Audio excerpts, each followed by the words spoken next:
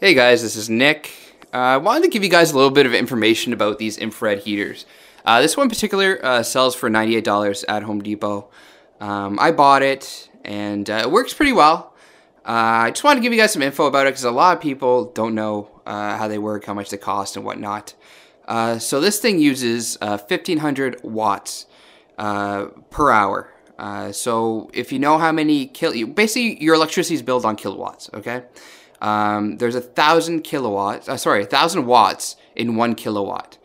Um, so every hour that this is running, uh, it's using one and a half kilowatts. Uh, here, where I'm living, uh, it's 15 cents a kilowatt.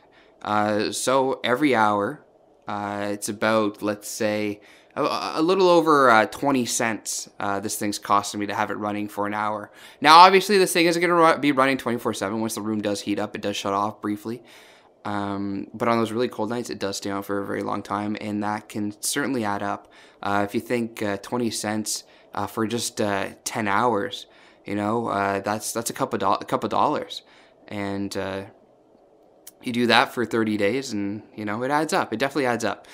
One thing to note, though, these are one of the more efficient heaters you can buy. any other heater you find at Home Depot uh, they usually heat about, uh, at least electric fireplaces specifically, actually. Uh, electric fireplaces tend to heat up about 400 square feet, and they use 1500 watts as well.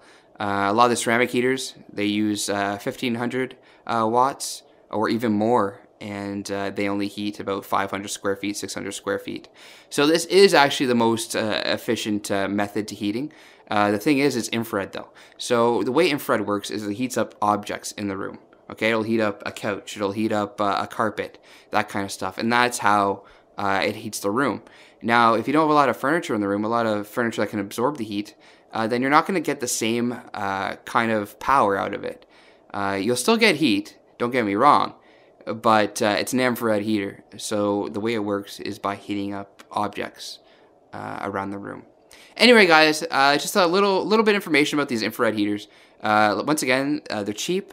Uh, they're fairly efficient, but you do have to keep in mind it's not a great alternative um, to your regular uh, way of heating, whether it be natural gas for sure, uh, oil heating, it could be, you know, pretty good depending on what oil prices are, and electric heating, of course.